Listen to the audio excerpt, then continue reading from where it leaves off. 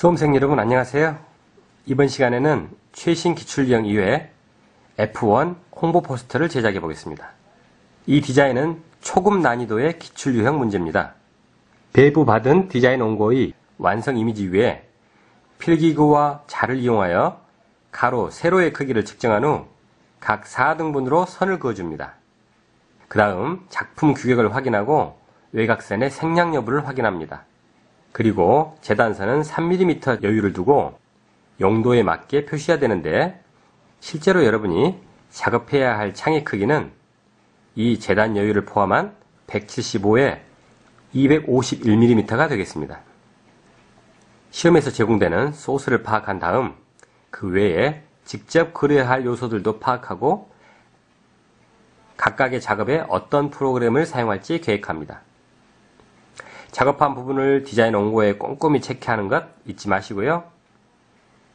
이제 Illustrator를 실행하고 단축키 컨트롤과 N을 눌러 단위는 밀리미터, 너비는 175, 높이는 251mm, 컬러 모드는 CMYK, 그리고 OK 버튼을 클릭합니다.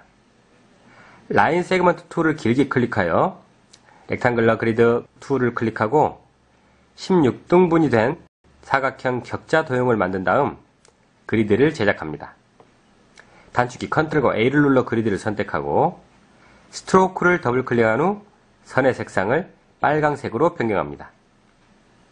실제 작업창에 그리드를 제작하는 방법은 기출 유형 따라하기 강좌를 보시면 자세하게 설명되어 있으니까 참고하시기 바랍니다. 단축키 컨트롤과 G를 눌러 그룹을 지정하고 단축키 컨트롤과 S를 눌러 파일 이름을 일러스트 작업으로 입력하고 저장합니다. 자, 이제 일러스트 작업을 해보겠습니다. 그리드를 작업한 파일이 열린 상태에서 그리드 Layer를 잠그고 Create New Layer를 클릭하여 새 Layer를 추가합니다. Layer 2 Layer를 그리드 Layer 아래로 이동시킨 후 더블 클릭하여 이름을 도형으로 변경합니다.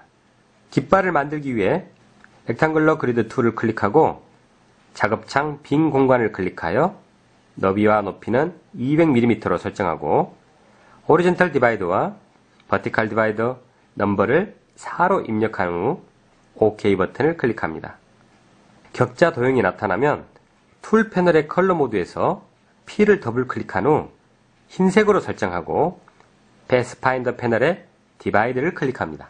계속해서 도형들이 분리되면 Direct Selection Tool을 클릭하고 디자인 원고의 회색 부분만 Shift를 누른 상태로 선택합니다.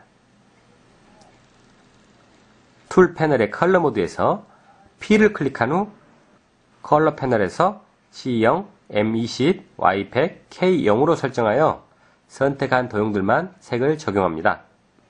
Selection Tool로 도형 전체를 드래그하여 선택하고 선색을 None으로 설정합니다.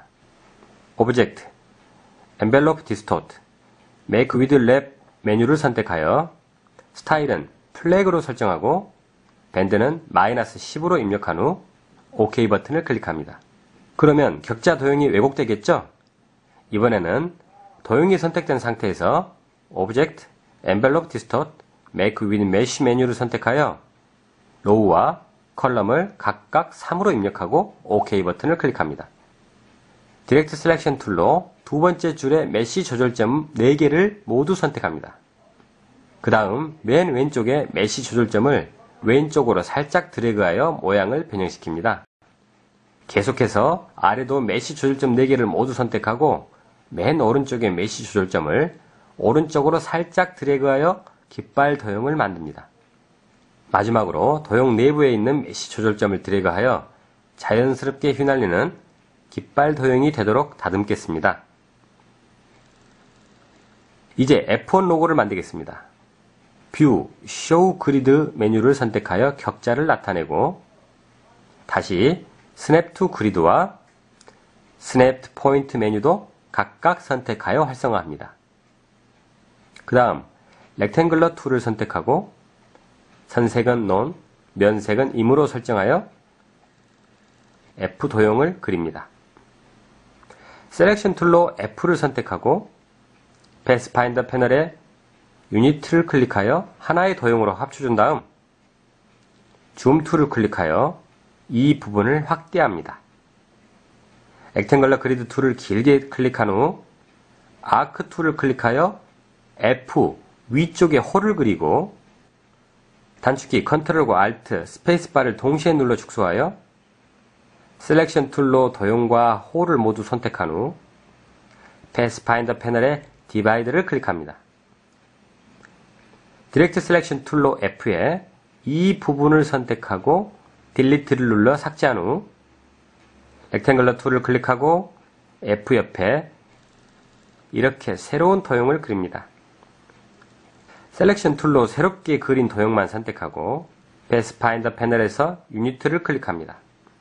펜 툴을 클릭하고 View, Snap to Grid 메뉴를 선택하여 해제한 후 길고 뾰족한 삼각형을 그립니다.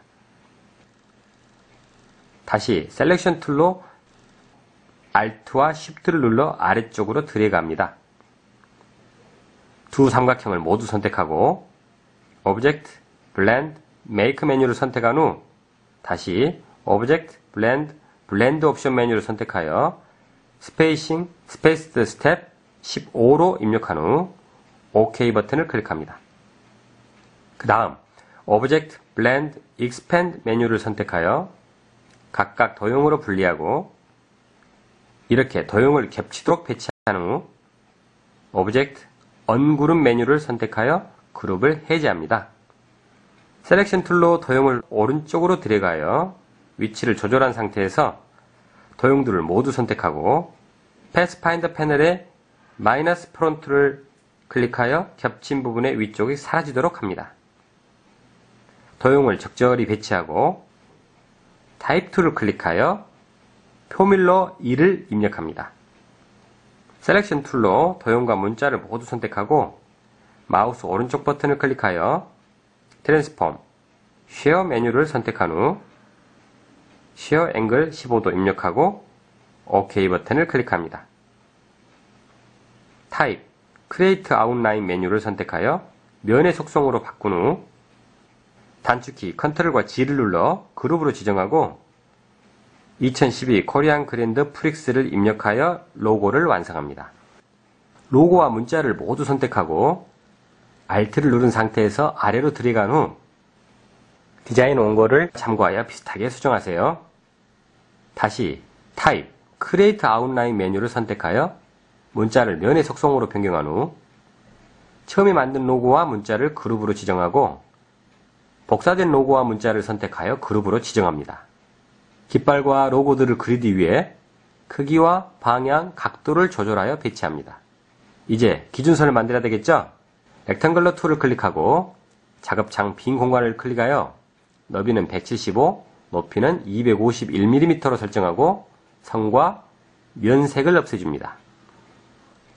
Align 패널에서 Align to Artboard로 선택하고 Align Object에서 Horizontal Align Center와 Vertical Align Center를 클릭하여 작업창 한가운데로 배치한 후 단축키 Control과 S를 눌러 저장합니다.